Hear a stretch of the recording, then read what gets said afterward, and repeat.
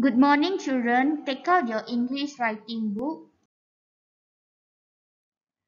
Write down the day Friday and the date 10th September 2021.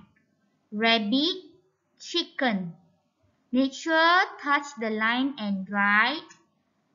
And then draw the picture rabbit and draw the picture of chicken.